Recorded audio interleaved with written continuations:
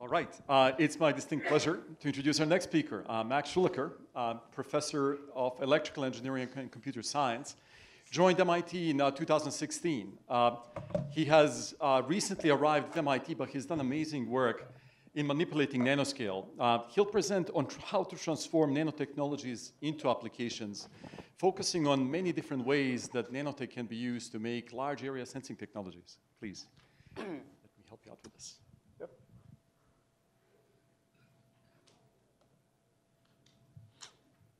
All right. Okay, well, thanks for the uh, introduction and for the invitation to speak here today.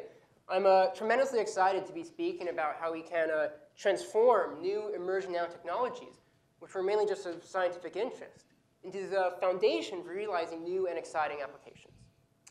So we all know that data makes the world go around, so to speak. And with the exponentially growing availability of big and abundant data, which is being generated from trillions of sensors which will soon be connected across the Internet of Everything or the cloud. Electronics and sensing has the potential to continue to have a dramatic impact in our lives, with applications that range from genomics for personalized healthcare to building smarter cities, science, finance, security. The list is nearly endless. And while it might seem that such a broad range of applications share very little in common with one another, they actually all share a very important common thread, which is that their demand for more data, more computation, more energy efficiency, throughput, personalization, sensitivity, are all exceeding the capabilities of what electronics today can deliver. And the reason why electronics can no longer keep up with these growing demands of these applications is because electronics aren't just hitting one or two walls, but rather many walls all simultaneously. Right? There's the data deluge, which refers to the fact that there's so many sensors generating so much data at such a fast rate that electronics simply can't keep up. I did a quick calculation before coming up here.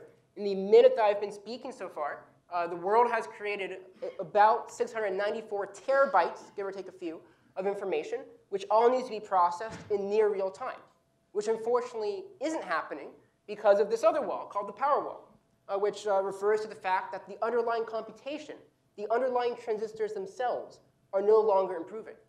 Then there's also the memory wall, or the memory logic bandwidth wall, which refers to how a processor today can spend the vast majority of its time and energy just moving data around a system, from off-chip sensors to off-chip memory to the processor, back to the memory again, time and energy spent not even doing useful computation. And the list of walls goes on and on. There's the uh, uh, interconnect wall, complexity wall, resiliency wall, communication wall, and so on and so forth. So the question is, given all of these obstacles, how can we possibly enable these new exciting applications? I mean, does the answer lie in building a new sensor, maybe a new transistor, a new architecture, or maybe a new algorithm? Unfortunately not. I think it's clear that just focusing on one solution to solve one problem is not going to overcome all of these walls. Rather, we have to have coordinated advances across the entire system stack, or in a word, build nanosystems in order to enable these new applications. So what exactly is a nanosystem? This is a good question, so let me show you. So a nanosystem is when we start by taking new emerging nanotechnologies. As you'll hear today and have heard already, these enable new types of devices, new fabrication techniques, new types of sensors, etc. And only by first overcoming inherent imperfections, such as large-scale fabrication, variability, can we then actually make use of these benefits, allowing us to combine them all in order to realize revolutionary new system architectures which in turn can be enabled, uh, can be used to enable a whole new class of future applications, such as big abundant data applications. Now, while each sphere of work here is still very important and necessary in its own right, it's only by connecting and combining the right emerging technologies with the right system architectures for the right applications, which allow us to achieve truly massive benefits. Now, this is admittedly abstract, so let me give you a very concrete example. So this is what an electronic system looks like today. Computation is on a 2D chip. Off to the side, we have a package sensor, and off somewhere else, we have a memory chip with very limited data bandwidth uh, communicating between these different parts of our system. And here is a futuristic nanosystem where we have multiple layers of computation built directly on top of one another, interleaved with layers of memory. We can even add increased functionality like massively parallel sensing directly onto the top layer of this chip, all densely integrated in this 3D stack through very fine-grained vertical interconnects, truly embodying now computation finally immersed with memory, finally immersed with sensing. And the reason why this is a future nanosystem is that while this type of system would be impossible to build with today's silicon-based technologies, today I will show you how by leveraging heterogeneous integration of multiple emerging nanotechnologies that we can actually build these systems today. And I want to be crystal clear here that everything I've drawn on the board, including this schematic, is not just some dream or some fanciful vision, but we've actually designed, uh, built, and tested and have these chips, including this one, working in our lab today. So this is very, very real. Okay, so if we want to begin building a nanosystem, how do we do that? Well, we have to start with a promising emerging nanotechnology. And the technology, one of the technologies which we focus on in my group, are called carbon nanotubes.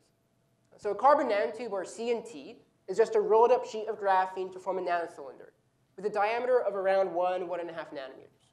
A carbon nanotube field effect transistor, or a CNFET, is formed by using the CNTs as the channel of the transistor with traditional lithographically defined source, drain, and gate regions. So I've drawn the schematic here. Uh, so picture your silicon transistor. Just remove the silicon in the channel, replace that with carbon nanotubes. Everything else stays exactly the same. Now, the motivation for using carbon nanotubes for future sensing systems is drawn uh, from two different parts. On one hand, uh, carbon nanotubes make excellent ideal transistors. In fact, it's projected that if you could build a large-scale system using carbon nanotubes, then that system would be over 10 times, over an order of magnitude more energy efficient than the exact same system made from today's silicon transistors. And moreover, not only do carbon nanotubes make ideal transistors, but these transistors also make ideal sensors. And you'll hear more about this later from Professor Swager. So now that we know why we want to use carbon nanotubes, how do we go about building a circuit or building sensors out of them? Well, let me show you. This is a schematic of the simplest circuit, just an inverter. You have p-type CNFETs in the pull-up network, n-type CNFETs in the pull-down network, and the design follows any traditional CMOS design flow. Now to make a sensor, we simply functionalize the CNTs and some of these CNFETs, uh, where the functionalization on top of the carbon nanotubes is what defines the sensor selectivity and sensitivity. Now, I have to burst the bubble, right? Because despite the promise of carbon nanotubes, uh, there's always a catch, right? And the catch here is that it's very difficult to build any sort of working system out of them. Uh, like many, if not all, emerging nanomaterials, carbon nanotubes are subject to substantial inherent imperfections and variations, which have made realizing working systems and, and sensors infeasible in the past. Now, for the sake of time, I, I'm not going to go through all the details of these imperfections, and nor am I going to go through the details of all the solutions we've developed to overcome these. But I do want to highlight that the key to overcoming these obstacles and enabling us to build systems with these new technologies is to rely on a combination of both processing techniques we develop in the lab and circuit design techniques, which allow us to both build and design circuits and systems in such a way to guarantee mathematically that they are immune to these imperfections. Now, since I'm not going to go through the details of these techniques, I still want to show you that they work. And ultimately, the proof is in the pudding, so to speak. Uh, so here, uh, I'm showing you we can actually build complex digital systems using carbon nanotubes, such as a basic computer. Uh, it's a, a Turing-complete machine, uh, uh, runs a basic operating, operating system scheduler capable of even multitasking. Not only can we build actual working systems, we can build a wide range of different sensors. Here, these are a whole bunch of different gas sensors. You can make liquid sensors, uh, stress sensors, optical sensors, really the whole gamut of sensing. Okay, so now that we can use these new technologies to build systems, to make different types of sensors, we can make a better circuit, we can make a new sensor. But how do we do even better, right? How do we really start to enable new applications? Well, if we want to do even better, we need to combine the benefits we can achieve at the device scale with the benefits we can leverage at the system or architectural level. And to that end, 3D integration is a very promising path. Now, 3D integration today is achieved through chip stacking. This is when you build the different vertical layers of the system on different 2D substrates and then physically stack and bond them one on top of each other using through silicon vias or TSVs to connect these vertical layers. And these TSVs are very, very large and very, very sparse. Now, what I'm going to show you experimentally is the dream of 3D, monolithic 3D integration. This is when we can build these layers directly on top of one another, all on the same starting substrate. no wafer bonding required. Now, due to this monolithic integration, we can use our nanoscale interlayer vias, or ILVs, to connect the different vertical layers of the chip. And these ILVs are orders of magnitudes. I'm talking more than 1,000x denser than TSVs. And where we can really leverage this massive increase in vertical connectivity is not just stacking layers of logic on top of logic, but rather stacking layers of logic on top of memory on top of sensing. Because now this massive increase in physical connectivity directly translates into an equally large increase in our bandwidth from logic, memory, and sensing. And this provides serious positive impacts for our systems, both in terms of energy and performance. Now again, there's always a catch, right? And the catch here is that it's very difficult to build working systems uh, for monolithic 3D because the processing temperatures in all these upper layers has to be very low temperature, below 400 degrees C. If you go above 400 degrees C, you'll damage the bottom layer devices and just melt all the metal wires on the back end. This is particularly a challenge for today's silicon CMOS, which has processing temperatures in excess of over 1,000 degrees C for steps such as dope activation annealing. So this is where we can really leverage these emerging technologies, many of which can be processed at very low temperatures. For logic we, and sensing, we can use carbon nanotubes. As I mentioned, a promising and realistic technology now. For memory, there's a whole host of new memories to choose from. RRAM, STT-RAM, CBRAM. You choose whatever's best for your application. And what I really want to emphasize about this approach is that now we really do get the combined benefits of using these energy efficient devices, new types of sensors, and these energy efficient high performing architectures, which are naturally enabled by using these new devices to begin with. And while I think this vision is exciting, while I think it's compelling, what I think is the most exciting part of this is that we can actually already build these today. So I'm very excited to show you, this is our most recent experimental demonstration, 3D nanosystem. It will be published in just a couple of weeks, so this is a sneak peek. Uh, it's uh, the first monolithic 3D IC integrating logic, memory, and sensing. To give you an idea of scale, it incorporates over 2 million CNFETs, over 1 million RRAM memory cells, all built over millions of silicon FETs, all fabricated in-house in a fabrication facility. Um, I really want to emphasize that this has actually uh, been built and tested. Here you see one such completed wafer where there are eight of these different chips on there. I actually uh, brought one with me here today, so you're free to take a look at it afterwards. Um, so let me show you what's actually inside this chip, how we make it, and most importantly, what it even does. So we start with our blank silicon substrate, just like normal, and we build a bottom layer of logic. Uh, we make this out of silicon CMOS, and I want to stop here and make two extremely important points. The first is that the silicon can only be on the bottom layer, nowhere else in the stack because it's so high temperature to fabricate. The second point is why do we make this out of silicon? It's not because we have to. We choose to build this out of silicon to explicitly demonstrate for you that everything you've seen here today is not just you know, wafer scale, et cetera, but also silicon CMOS compatible, meaning that it can be built directly on top of any starting silicon substrate that you can buy from any foundry today. It's very important when considering the adoption of a new technology. Okay, between every layer of the chip, we repeat the same steps. We passivate it with a dielectric, an ILD. We then etch and fill in these very dense ILVs. I'll emphasize that these are extremely dense because this is monolithic 3D integration. For the next layer of chip, we build a layer of logic using carbon nanotubes. It serves two purposes. Acts as a uh, memory access circuitry for the layers of memory we'll be building on top shortly. And we also build some mini classification accelerators for on-chip embedded computation. I'll show you more on this shortly as well. Again, between layers, ILD, ILVs. For the third layer, we build a layer of memory using RRAM. On top of that, ILDs, ILVs, and the fourth and final layer of logic using CNTs. If you zoom in on the SEM, you can even see within the channel length of one of these transistors are nice, pristine carbon nanotubes. Now I want to go one step further. And to demonstrate the increased functionality that can be leveraged from these new materials that make both great transistors and great sensors, we'll go ahead and functionalize some of these transistors to turn them into gas sensors. So now we have over 1 million unique gas sensors built directly onto the top layer of this chip. And when we take a look at these types of systems, which have millions of sensors, which connect directly in parallel through millions of interconnects to massive on-chip memory, which then has computation built directly underneath that, connected to the memory through millions of interconnects as well. These types of systems can and do already capture terabytes of information each second from the outside world, store this uh, mass amount of data in on-chip memory, and then compute on it by the logic right underneath that, all in real time, transforming this massive data input into highly processed, useful information. And again, this chip actually uh, works. We can test it. We load it inside a little vacuum test chamber, allows us to bubble vapors from whatever sort of liquids we want to test. This is raw data measured from a chip.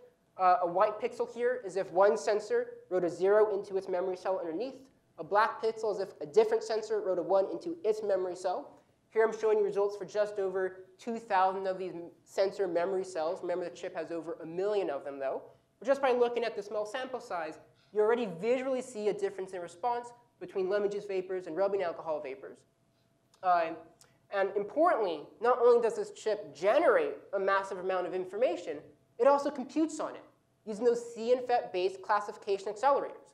Again, this is measured data from one of these systems, where it's actually calculating two different features to be used for a support vector machine, for classification between what it's smelling in the atmosphere. Uh, we can actually do a PCA analysis on these features and show the ability for this chip to correctly distinguish and classify between pretty much whatever liquid we had lying around in the lab, you know, vodka, wine, beer, rubbing alcohol, vinegar, lemon juice, whatever, right? And yes, if you go in my lab and see all this booze, it's for the experiments.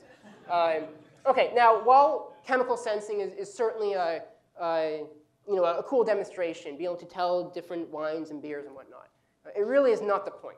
I want to make sure that when you leave today, you do not turn to your neighbor and say, hey, we saw a pretty cool gas sensor. Because the takeaway message from 3D Nanosystem is so much deeper than that. Right? 3D Nanosystem is a platform, it's a demonstration for what future sensing systems have to look like. Because if you think about what's really required to enable these new applications, we know we need to have very energy efficient logic and memory to do that computation. And we can achieve that by heterogeneously integrating new technologies both for logic and for memory. But we also know that just technology and computation is not enough. We also know, need very high bandwidth communication between these layers of logic, memory, and even sensing. And to that end, we can use monolithic 3D integration, which is enabled by these technologies to provide very fine-grained vertical interconnects between the layers of, the, the, of these chips. And importantly, we just don't want systems to do computation. We want them to interact with the world and, and compute on data generated from millions of sensors.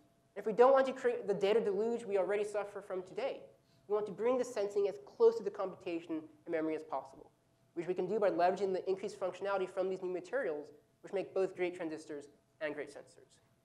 And these, these are the major takeaways uh, from this demonstration. Okay, so what's next? Well, I'm uh, really excited to say that my students are working on V2.0 of these types of systems in collaboration with Analog Devices, and we're starting collaboration with MGH. We're actually using these chips, uh, chips in real hospital settings to do applications which you actually cannot do using today's hardware. Uh, so with that, I'd like to uh, wrap up my talk. I'd like to acknowledge our sponsors, uh, Analog Devices, uh, and of course, uh, all my students who uh, it's really been the, the, privilege of my short life so far to work for them. And I said that in the right order. I work for them. Uh, so with that, I'll, I'll wrap up. Um, thank you for your kind attention.